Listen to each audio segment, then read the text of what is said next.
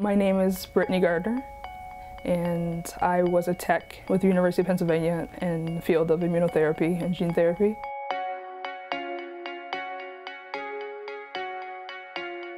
I came to Philadelphia to study at Philadelphia University and I majored in pre-medical studies. So I was fresh to Philadelphia and I was still sort of searching for where I fit. I learned about Out for STEM, I believe through Facebook. It connected two major aspects that were a huge part of who I am, my interest in science and my sexual orientation. And I decided to reach out. And I was very appreciative of the opportunity to interact with other students that were around my age group and also interested in STEM.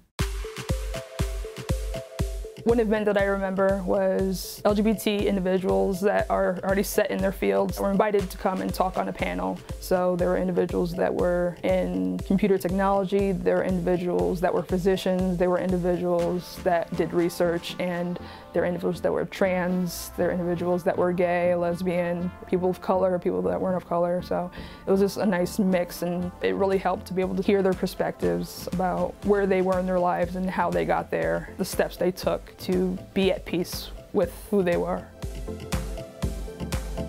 One specific person that really jumped out was Dr. Avery Posey. I was able to shadow him and then I was able to work for him for two years in his lab at University of Pennsylvania. Just looking up to him and feeling like, okay, he's where I want to be, but then also him revealing aspects of his journey that I could also connect with. Even though I do have missteps right now in my journey, I too can get where he is. So I worked in the lab with Dr. Avery Posey. His lab focuses on creating chimeric antigen receptors and genetically altering T cells of cancer patients so that their T cells can target uh, their cancer. Working with Dr. Avery really gave me a feel for what lab life was like. One of the huge aspects of a lab that really helped me professionally and as a human being was to get a new perspective on failure before my experiences in the lab. All my education was in the classroom and in the American schooling system, you're taught that, okay, don't make mistakes, don't make mistakes, don't make mistakes, because they'll follow you forever. It can paralyze you and make you not want to take risks. Working in the lab helped me to be more comfortable with making mistakes when I fail, figure out why I failed, what I could have done differently, what I could have done better, so I can move forward and not fail the same way twice.